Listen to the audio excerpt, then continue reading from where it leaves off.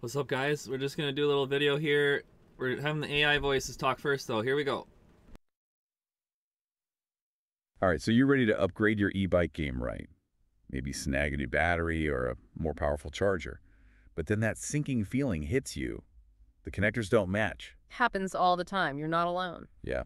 And the first thought might be, okay, no problem. I'll just rewire this thing myself. Mm-hmm. Seems simple enough, right? Yeah. But hold on. Before you even think about grabbing those wire cutters, we need to talk about safety. Yeah, this is a deep dive with a really important message because we're dealing with lithium ion batteries here. And anyone who's been following e-bikes even casually knows these things can be a fire hazard if they're not treated right, especially when it comes to charging. Exactly. So today we're going to break down why rewiring an e-bike charger connector is not as straightforward as it might seem. We'll look at electrical compatibility best practices, and most importantly, we'll highlight why this is a job that's often best left to the pros. Right. It's better to be safe than sorry. Absolutely. So let's start with the heart of your e-bike's electrical system, the battery. Yeah, the battery's the key. And the two most important things you need to know about your battery are its voltage and its current rating. Okay, so where do we find this information? It's usually printed right on the battery itself. Sometimes you'll find it in the owner's manual. Or you can check the label on your original charger. Right. So voltage and current, why are these so critical when it comes to choosing a charger? Well, the charger's output voltage has to match the battery's nominal voltage exactly. If it doesn't, you're going to have problems. Problems like, like overcharging, which could lead to, well, you know, fire explosion. Not good. Or you could end up undercharging, and then you're not going to get very far on your ride. makes sense. And what about the current? Okay, think of the charger's output current as the flow rate of the electricity going into your battery. You want a charger with an output current that's at least equal to or even slightly above the battery's recommended charging current. Got it. So it can keep up, but what happens if the current's way too high? Too much current can overload the battery, and that could damage it or even cause it to overheat. Definitely don't want that. Definitely not. So we've got the battery's voltage and current. What else do we need to consider? Ah. You've got to think about the battery management system, or BMS. This is like the brain of the battery. It's a circuit that protects the battery from things like overcharging, over-discharging, and overheating. Right. The BMS is essential. So basically we need a charger that's compatible with all of that. Mm. The voltage, the current, and the BMS. Exactly. Now let's talk connectors. You know, that's usually the reason people are even thinking about rewiring in the first place. Right, because you've got the charger and the battery, and they just don't physically plug into each other. So tell me about these different types of connectors. Well, there are a ton of them out there, each with its own pros and cons. Like what? Let's see, you've got your Anderson power poles. They're known for being pretty durable and genderless, which can be handy. Genderless meaning. Doesn't matter which way you plug them in, they'll work either way. No male or female ends. Yeah. Then there are the XT60s and XT90s that can handle a lot of current, so you often see them on higher power systems, Okay, those are for the big boys. pretty much. Then there are the good old DC barrel connectors. Super common, but you've got to make sure you get the right size. Right. You'll often see sizes like 5.5 millimeters on the outside and then 2.1 or 2.5 millimeters for the inside pin. And uh, then there are XLR connectors. Those are sometimes used on higher end e-bikes. They can carry a lot of power and some can even handle data too. Interesting.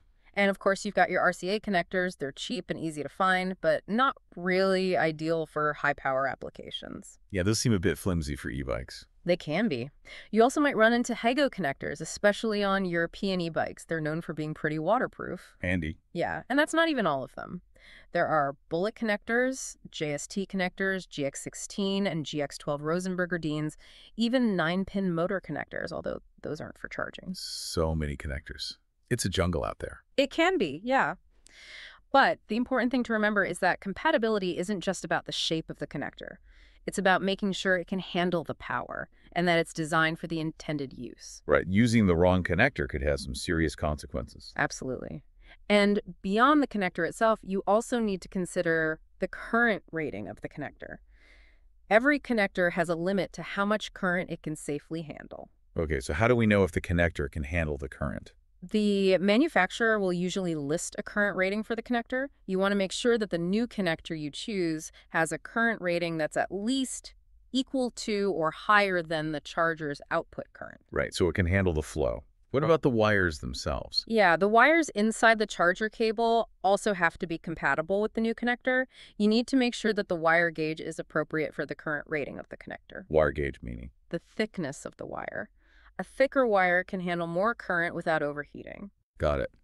So we've covered a lot of ground here. Battery voltage, current BMS connector types, current ratings, wire gauges. Any other essential safety tips before we even think about rewiring? Absolutely. Before you even think about rewiring, remember the golden rule? Always use the charger that came with your e-bike or one that the manufacturer has specifically approved. Okay, so no off-brand chargers. No off-brand chargers. They might be tempting because they're cheaper, but they can be a real fire risk. You don't want to skimp on safety here. Right. So use the right charger. And what about the charging environment? Yeah, always charge your e-bike indoors in a dry, well-ventilated area. Keep it away from anything flammable and avoid extreme temperatures. So no charging in the direct sunlight? No direct sunlight, no freezing cold. And plug the charger directly into a wall outlet. No extension cords? No extension cords, no power strips. They can overheat and cause a fire hazard. And one more really important thing, never leave your e-bike charging unattended, Especially overnight. especially overnight. Unplug it as soon as it's fully charged. And when you're plugging it in, remember to plug into the battery first and then into the wall. Okay, so safety first. But let's say someone's listening and they're thinking, I'm confident I can handle this rewiring myself. Hmm. What are the absolute non-negotiable safety steps they need to take? All right, if you're absolutely sure you want to proceed, treat this like you're handling something extremely delicate and potentially dangerous, because you are. Right. First things first, unplug that charger and let it sit for at least 15 to 30 minutes. This will allow any residual charge stored in the charger's capacitors to dissipate. Capacitors meaning? They're like little energy storage units inside the charger, and they can hold a dangerous electrical charge even when the charger is unplugged. So give it time to discharge. Got it. So unplug and wait. What's next? You need a clean, well-lit workspace and the right tools for the job. That includes things like wire strippers, a soldering iron or crimping tool, a multimeter heat shrink tubing, and of course, a new connector that's compatible with your battery and charger. So basically, we're treating this like a mini electrical surgery. Pretty much. Right. Now, the single most critical thing here is getting the polarity right. You absolutely have to make sure you're connecting positive to positive and negative to negative. Okay, so how do we figure out which wire is which? Don't rely on wire colors. They can be misleading. Look for markings on the wires themselves or on the connector housing. If you're not sure, you can use a multimeter to check the voltage, but be extremely careful. Careful how? Only touch the probes to the wires when the charger is unplugged. And even then, only touch them for a brief moment just to get a reading. So double check, triple check. Absolutely, because if you reverse the polarity, it's like trying to force the wrong key into a lock.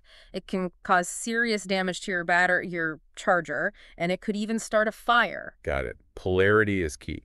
So let's say we've got the polarity figured out. What's the best approach for actually connecting the wires? There are two main methods, soldering and crimping. If you're soldering, you'll want to tin the wire ends first. Tin meaning It means coating the exposed wire strands with a thin layer of solder.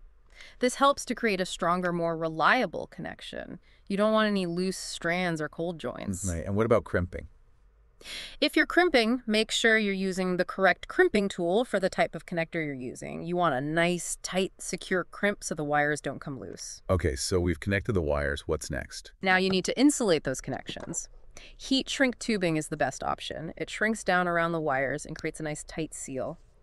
You can also use electrical tape, but make sure it's high quality tape that's rated for electrical use. Right. No scotch tape. No scotch tape. Now, before you even think about plugging that rewired charger into your e-bike battery, you absolutely have to double check everything. Make sure it's perfect. Yeah, visually inspect everything. Look for any exposed wires, loose connections, anything that looks even slightly off.